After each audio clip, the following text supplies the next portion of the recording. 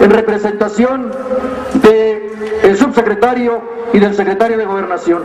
Por lo tanto, la Comisión Nacional Única Negociadora, a nombre de la Coordinadora Nacional, fijamos nuestro posicionamiento político, es decir, no dejaremos las calles, no dejaremos las plazas, estaremos realizando en todo el país movilizaciones sincronizadas. Demostramos hoy la voluntad política de este gran referente de lucha. Dijimos que nosotros sí tenemos las condiciones suficientes y necesarias para poder sentarnos cuanto antes en una mesa de alto nivel y sobre todo de respuesta a nuestras demandas. Ellos argumentan que no hay condiciones en estos momentos para darle seguimiento a los planteamientos de la gente.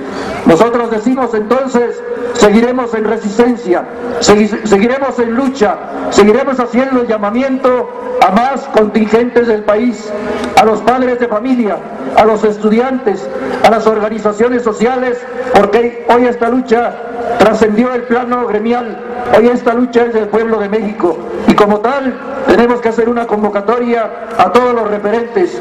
Tenemos nuestra Asamblea Nacional Representativa de la CENTE hoy mismo por la tarde y ahí diseñaré el plan de acción que seguramente a partir del día de hoy con la Asamblea Nacional, a partir de la fecha que ya tenemos programada para el día 15, movilizar a todo el país en su generalidad.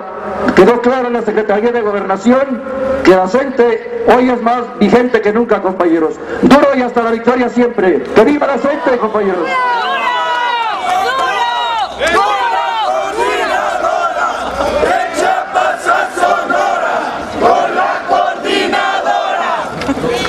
Compañeros, compañeras maestras, ha quedado claro también en la mesa que rechazamos cualquier tipo de intimidación, cualquier tipo de mensaje mediático que sataniza la lucha social, que sataniza al magisterio. Hemos dicho también en la mesa que hoy cerramos filas, todos los contingentes de la gente en torno a esa mal llamada reforma educativa que afecta los derechos laborales y en específico también rechazamos y unimos nuestras fuerzas con los compañeros de la sección 22 y en específico con nuestro compañero Rubén. No permitiremos que nadie sea tocado, pero no permitiremos que nadie sea enmedentado y para eso tendremos que organizarnos desde las escuelas, desde nuestros centros de trabajo, con nuestra comunidad, para resolver lo que es el derecho del pueblo mexicano, el derecho a la educación, el derecho de los trabajadores de la educación a tener un empleo estable y digno, el derecho de los niños a tener clases en buenas condiciones, no solamente abarcar una evaluación punitiva como la plantean, sino todo un proceso de evaluación al sistema educativo. ¿Qué pasa con las escuelas? ¿Qué pasa con los salarios? ¿Qué pasa con los cursos y la profesionalización del magisterio? No hay nada al respecto. Decimos hoy que el no tiene elementos, que es un esbirro más de los empresarios que hoy lo ponen como un sirviente más a su estilo para poder decir declaraciones de cantina. Hoy decimos, la coordinadora tiene toda una propuesta educativa, toda una propuesta pedagógica y claro está en la defensa de los derechos laborales de los trabajadores de la educación. Hoy cerramos filas compañeros porque un compañero que se ha tocado nos tocan a todos. Unidos y organizados venceremos.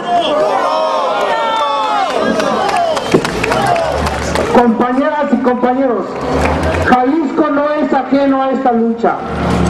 Históricamente a Jalisco le han dicho que es el gallinero del país, porque así nos han criticado.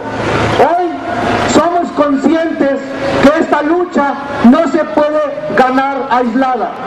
Hoy Jalisco está con la gente. La sección 16 y el Sindicato Único de Académicos de Colegio de Bachilleres del Estado de Jalisco se une a esta lucha. No vamos a dejar solo a Rubén. Este hostigamiento de mexicanos primero que la Coordinadora Nacional de Trabajadores de la Educación lanzó su propuesta en todos los términos pedagógicos, laborales y políticos y con horror estamos viendo que hoy el secretario de gobernación y que Colima por primera vez viene a esta secretaría, se niega el secretario de gobernación a tener un diálogo con quienes tienen más de 35 años de lucha.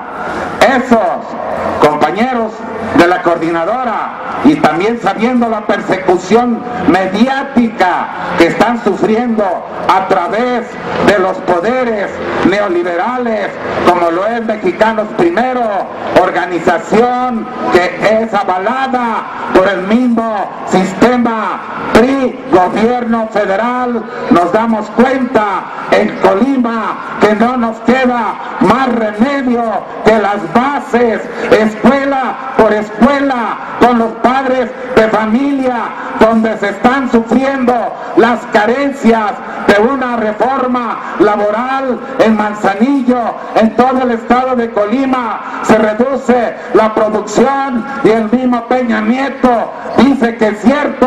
Y entonces los maestros no somos responsables del retraso educativo, la responsabilidad es del sistema, eso Colima se levanta con los compañeros de la coordinadora, al igual que muchas organizaciones como la de Jalisco, que también nos dimos cuenta que se levantan las bases, ya no les creemos, desafortunadamente para Juanito Díaz, ya no les creemos que van a apoyarnos, ya no les creemos a nuestros dirigentes seccionales. La base tiene la palabra porque la coordinadora está luchando por la base. Duro compañeros y hasta la victoria siempre. Compañeros, venimos ante ustedes trayendo todo el apoyo del Estado de Tabasco. Hace en 1979 Tabasco vio nacer la coordinadora. Le llegaron al precio los gobiernos en aquel tiempo a los líderes que la vieron nacer. Y desde entonces quedó sumida, quedó ahogada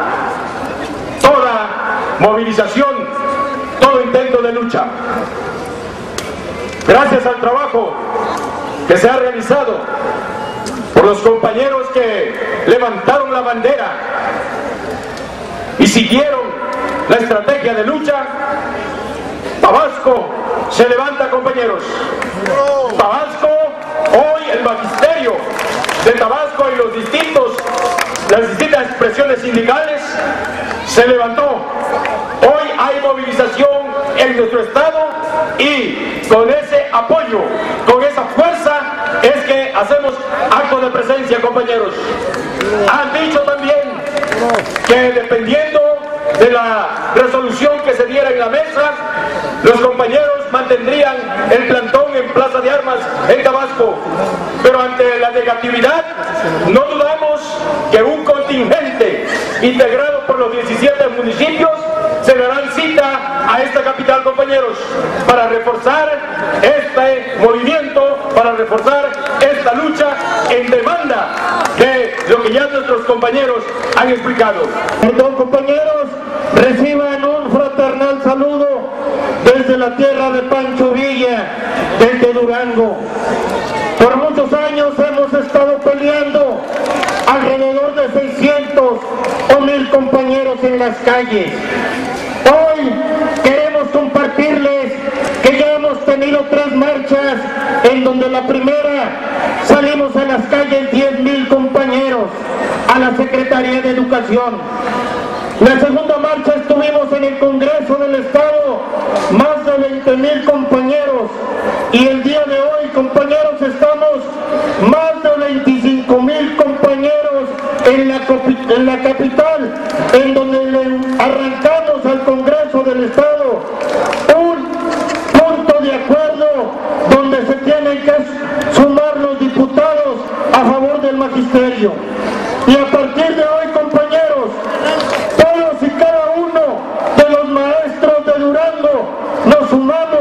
a las acciones nacionales de porque también entendimos que un Estado solo no va a lograr el objetivo, que es la abrogación al artículo tercero y al artículo 73.